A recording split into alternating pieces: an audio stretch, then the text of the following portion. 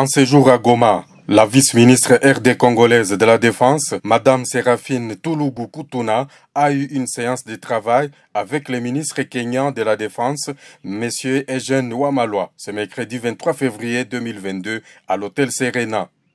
Au cours de cette rencontre qui a connu la participation du gouverneur militaire du Nord Kivu, Constant Di Makongba, les échanges étaient axés sur le rétablissement de la paix et la sécurité dans cette partie de la RD Congo.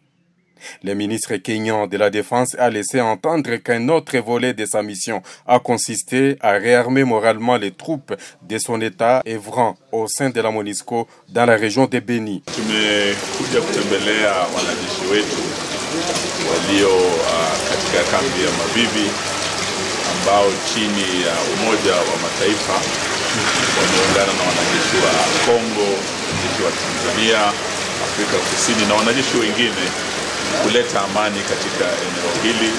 haswa mashariki mwa Kongo au tumekuwa na uh, vita, na tunafuraha sana ya kwamba wanajeshi wetu wa Kenya wamesimama bega kwa bega na ndugu zao wa Kongo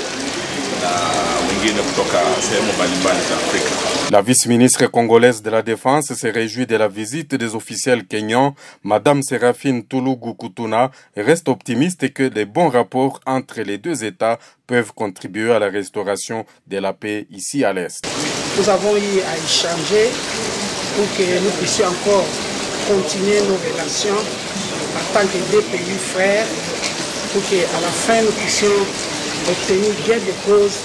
et nous attendons tous la paix Disons que cette rencontre a été euh, marquée par l'échange des cadeaux entre les deux autorités, symbole de la cohésion entre la RDC et le Kenya. Notons la présence à cette réunion du chef d'état-major général des armées kenyanes.